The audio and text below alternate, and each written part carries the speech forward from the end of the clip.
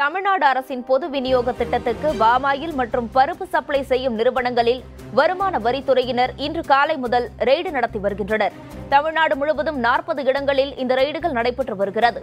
பொது விநியோக திட்டத்திற்கு உணவுப் பொருட்களை அதிகளவு வழங்கி வரும் அருணாச்சலம் இம்பேக்ஸ் நிறுவனத்தின் சென்னை மண்ணடி அலுவலகத்தில் ரெய்டு நடைபெற்று வருகிறது.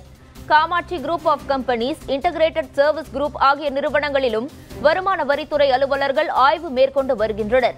தண்டையார்பேட்டையில் உள்ள காமாட்சி குரூப் ஆஃப் கம்பெனிஸ் உள்ளிட்ட பாமாயில் பருப்பு சார்ந்த தொழிற்சாலைகளிலும் ஆய்வு நடைபெற்று வருகிறது. காமாட்சி குழுமம் முறையாக வருமான வரி செலுத்தவில்லை என்கிற புகாரின் அடிப்படையில் ஆய்வுகள் நடைபெற்று வருவதாக தெரிவிக்கப்பட்டுள்ளது.